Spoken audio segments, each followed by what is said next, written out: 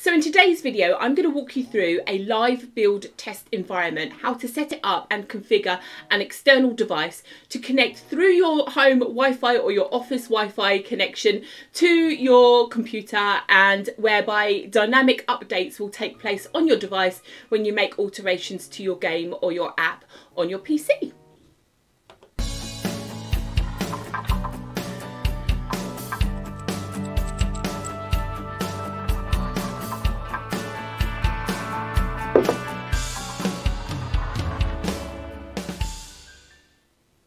Hi, welcome back. My name's Angela McCall. This is Point and Click Puzzle Games, a small YouTube channel dedicated to helping people learn how to program in the Lua programming language. Now, we do so through mobile app game development, and in the last few videos, we have been working on a tic-tac-toe mobile app game. But in today's video, I just want to step away from that series just a little bit to do something whilst it's fresh because of some challenges I've had with my own PC environment in the last couple of days whilst running a live build test environment. And this also comes off the back of the fact that I've had a couple of private emails come in through my YouTube channel uh, with people basically saying they're stuck trying to do this thing for themselves as well. So if you haven't been here before, please do subscribe, click that bell to stay notified and put any comments or questions below the video and I will do my best to answer them. Okay, so let's just quickly walk you through what I'm doing today. So I have my daughter's Kindle. Um, as you can see and basically I want to simulate what my app will do in a real world environment because working in the Corona simulator is fine and dandy but it's a simulator it isn't actually 100% its own standalone device. So they clever chaps at Solar2D have created a way for you to do a live build test environment. So everything dynamically updates whilst you've got that connection through to your device whilst you do changes on your apps. Okay, so one of the things I do need to make sure that you are aware of is that updates to the Solar 2D game engine and updates to the Java kit or development kit that you will need to have installed on your computer will also uh, take place by the powers that be at Java.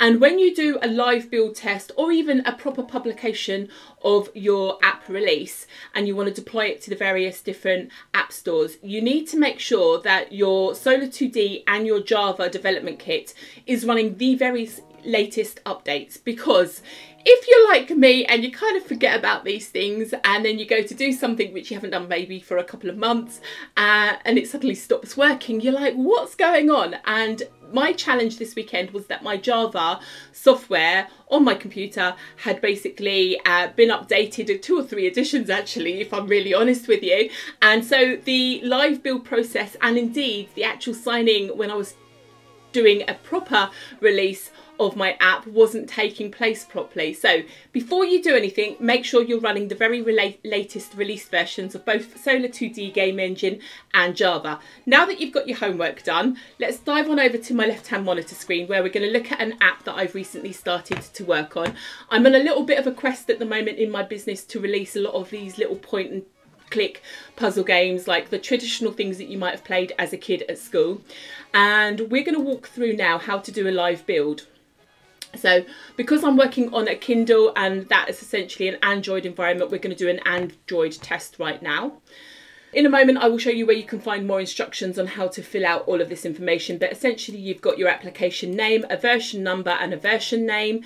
This package, uh, the instructions inside the, the Solar2D environment say they it has to be unique that's the main thing but to give you a suggestion they sort of reverse the path of where your app is kind of stored and on the website that that is sort of powering it. So that's why it comes up with this default. Now whilst you're in a, in a sort of test environment that doesn't matter okay? And then by default because we just had the game open in the background it already knows the path to where the project lives now, obviously, um, if it's a Kindle, it's powered by Amazon, but actually what I found whilst you're testing Google Play or Amazon, one of the same sorts of things, both work on this technique that I'm showing you today for a live build. Now, this is where things get a little bit funky. This key store, let me open up my browse button here.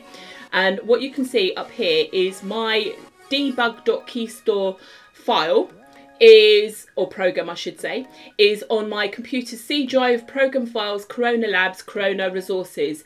You definitely need to make sure that this is sort of the one that's being selected whilst you're in a debug mode or a, or a live build test, shall we say, because the live builds don't work when you're doing a sort of a professional release and you want to sign it uh, directly. So whilst you're doing a live build, you need to make sure that this debug key store is actually selected in this box here. And I just wanted to show you the path of where it is on my computer, just in case you've set up your computer and you've just accepted all of the natural default paths. It should be something pretty much the same and similar.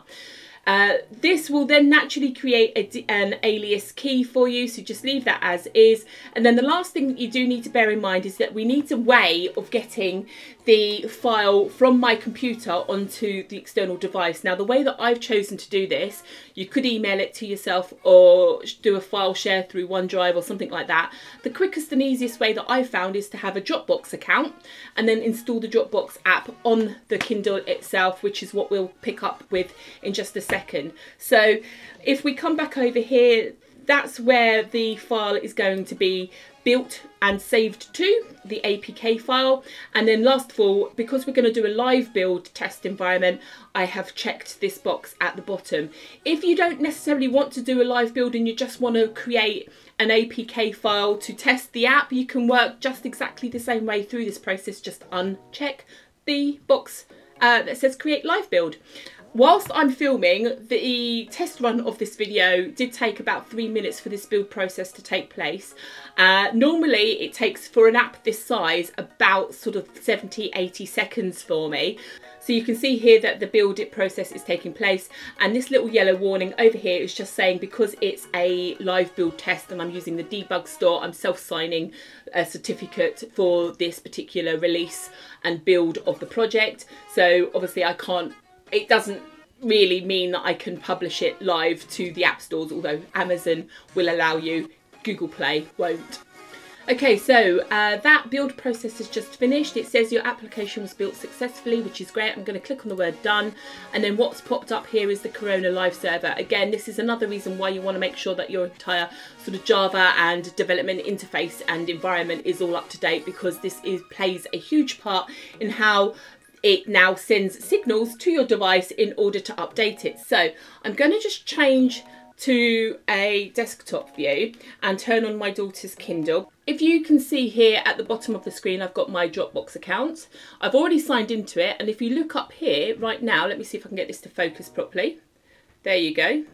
All right, you can see that I've got two files, an AAB, which is like a bundle for Amazon or Google, and you'll need that for when you publish live to their store and interface.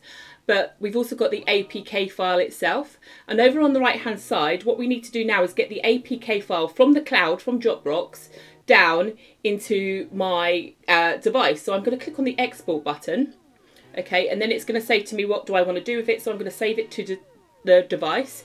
Now this will ask me just to name it. I don't know if you can see that there. Sorry, this isn't the best way of doing an example. So I'm just going to hit save and leave it to its default. Now this does take um, about 30, 40 seconds on an app this size to basically download. Um, I don't know if you can see there's a little bar underneath it at the moment. Now that that has happened, I can go to my actual documents folder on the on the device. And now in my documents folder you can see here I've got the APK file. So that's great because it's now on my device but it's not yet installed. You can see my camera reflection so I do apologize guys but I'm just going to click on it.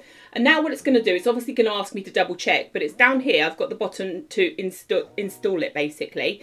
So this is going to take a few seconds. You can see just there I know the light's not great but it's, it is installing at the moment there you go, it says app has installed. And now we can click down the bottom here where it says done.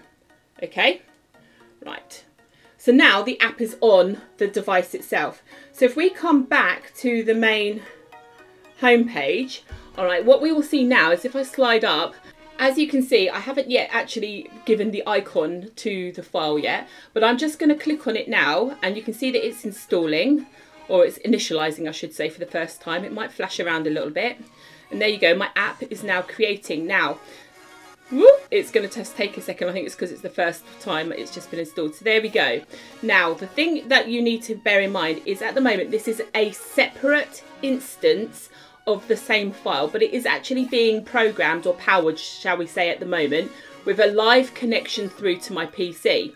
So at the moment, um, there you go, it says move not allowed. I can play the game, everything is working fine. Okay, so as you can see here, I'm on like the game and I'm on like level one, okay? So all I'm gonna do, and I just want you to see what happens to the device. Now you're not gonna see me do this, but I'm just gonna literally hit save and update the game on my PC. And as you can see there, it just refreshed and re basically run the game and it's gone back to the play button. So I haven't touched this as you can see. Um, I know you didn't hit see me do the save but all I've literally done is do control save to update one of the uh, files in the in the game in the app. And that has triggered the Corona live server to basically update this game. Now obviously there wasn't any particular changes because this is a, an app that's pretty much now at the state of being published but again if I go in there and I show you I'm on a particular game maybe I'm sliding things around and something is giving me a challenge or I come up with an error and I want to fix it. And I get to this point and I'm like oh pants. And obviously I want to test every one of my levels um, I can literally go back onto my PC hit control save on the particular file I want to edit and it will take me through this whole re sort of updating the app and bringing it live and that change will then populate through. What the change doesn't necessarily do is when you're on a live build, it doesn't necessarily work when you are doing changes to things like the config file or the build.settings file. It's really only the gameplay scenes and any modules or libraries that you've created of your own device or if you've got any overlay scenes. It's the actual scenes themselves that are kind of controlled by the composer environment that gets updated when you do a live build. So the last thing that I want to make sure that you're aware of as well is if you are, when you are doing a dynamic update, it has to be the same kind of version that you've exported or built out. Because if you was to go to file clear project sandbox and then sort of wipe the game memory completely and utterly free uh, this is kind of like a different instance or a different variation of the file. And it doesn't necessarily connect through to the live build that you've put on. Even though you've got this connection still up and running it's kind of lost the same program file as it were. So you want to make sure you've kind of finished that process before you want to go into a live build environment because the connection will be broken you through the live server and it won't propagate through the Wi-Fi to the device and the live server really won't keep the connection because it's a sort of a different instance of the same game. So I hope that kind of makes sense anyway, but the, the rule of the thumb here is basically if you're going to do lots of things that's going to affect the, the project sandbox box and the device memory that you're going to be creating and saving things to, the live build process will fall down. So make sure you've kind of done that and simulated all of that as much as you can inside the Corona simulator. When you're at a point you think you're ready and you're happy, then create the live build and then you can test that way as well. But that is pretty much essentially it. So what you have to bear in mind is that the file itself is an APK file and it just needs to be sort of technically downloaded from your computer onto your device. And then once you've got the file physically stored on the device you then have to install it so you just go to your documents you click on it to open it that will run the installation and then it's just like you would have downloaded the app from the main place, uh, you know, the app stores. And then you've got this live test environment. And if you've got that box checked, then your Corona Live server will operate and then everything will be dynamic.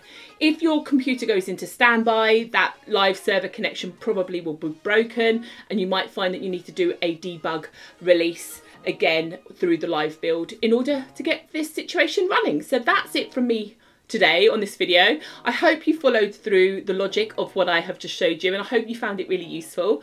If you do have any questions or comments, please do put your comments below. I will answer them. Click that bell to stay notified and I'll see you on another video real soon.